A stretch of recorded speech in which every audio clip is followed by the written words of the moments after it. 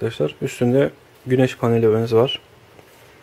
Yapıştırılmış bir tane folyosu var şurada üstünde bantı. Ee, bunu istediğimiz zaman kullanabilmek için burada bir tane düğme koymuşlar. Anahtarı var. Anahtarına basayım şimdi.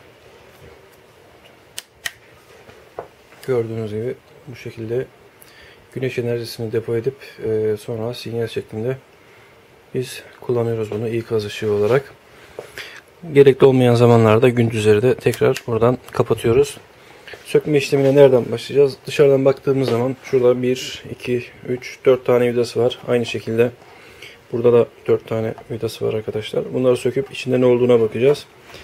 Ee, güzel basit bir devresi varsa çözmeye çalışırız. Hepimiz kullanırız.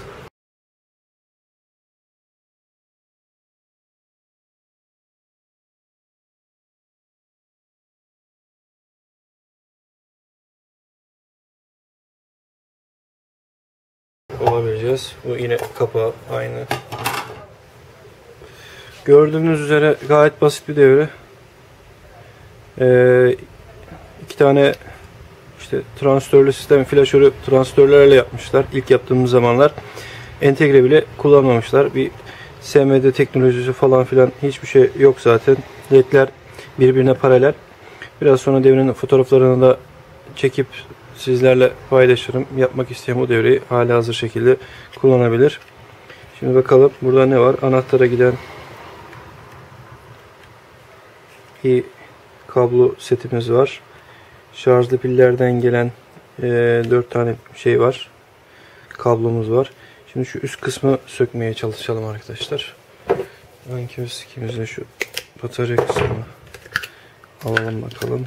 Sökebiliyor muyuz? Evet. Geldik kuzucuk. Şu taraftan alırsak daha rahat çalışacağız gibi.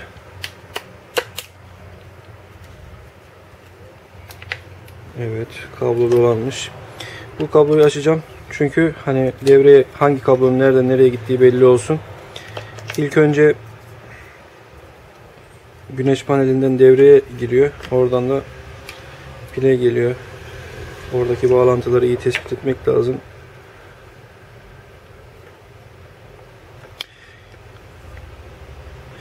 Güneş pilinden e, güneş panelinden gelen kırmızı uçla pillerin kırmızı ucu yani artı uçları birlikte bağlanmış durumda. O artı uç aynı zamanda anahtara gidiyor arkadaşlar. Sonradan devreyi besliyor. Eksi uçlar ise e, farklı noktalarda. Şimdi bunları da oradan söküp inşallah daha iyi bir şekilde göreceğiz. Şimdi sökmeye devam edelim yine aynı şekilde. Güneş panelini çıkaramayacağız gibi. Su geçirmemesi için pek de çıkarmayı ben de istemiyorum ama maket bıçağıyla hafifçe bir kereye mahsus zorlayacağım. Geri iade edeceğimiz için pek bir zorlamak istemiyorum arkadaşlar. Çıkacak gibi değil. Zaten nihayetinde bir şey de yok. Gördüğünüz üzere şurada bir bağlantısı var. O kadar. Güneş paneli bildiğiniz gibi ince bir film tabaka. Burada anahtar var. Bakalım şu kartı sökelim yerinden. İki tane vidası var.